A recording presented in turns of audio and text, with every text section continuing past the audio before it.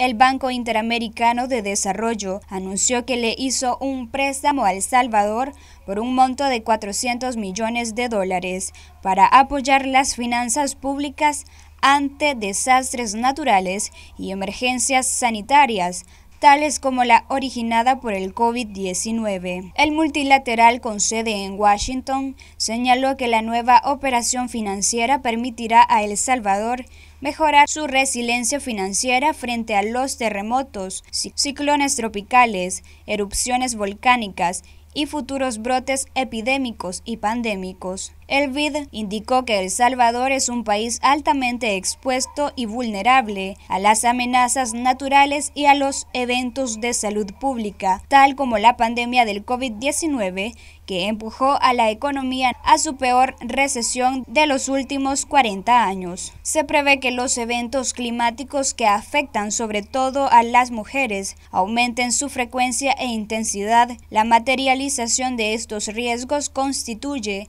un importante pasivo fiscal contingente, ya que generaría grandes necesidades de financiamiento, indicó el Banco Interamericano de Desarrollo en un comunicado. De los 400 millones de dólares, el BID detalló que un tramo de 300 millones de dólares se destinarán para atender emergencias por terremotos y ciclones tropicales y 100 millones de dólares para las erupciones volcánicas y futuros brotes epidémicos y pandémicos.